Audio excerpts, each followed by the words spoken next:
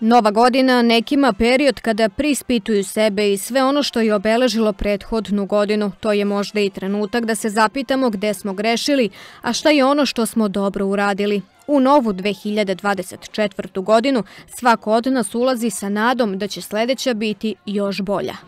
Da se volimo, ne da se mrzimo, da poštujemo druge, da bi poštovali nas. Zdravlje i mir, to je najbitnije. Kakva je ova godina bila za vas? Pa nije bilo loša, ne mogu da kažem ništa loše, ali neka sledeća bude malo bolje. Šta si poželeo za novu godinu? Šta si zapravo... Neko kocke ili neke karte. Neke onako teško da se igra sa te karte. Neko lego kocki, tako to. Ja očekujem ništa, samo želim najvažnije, je li tako? Da.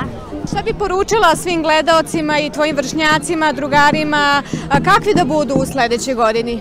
Da budu pametni, zdravi, lepi. Pa najvažnije je zdravlje, a sve ostalo dođe. To bi poželjela sebi, svoje porodici, naravno svim građanima koji slave Novu godinu.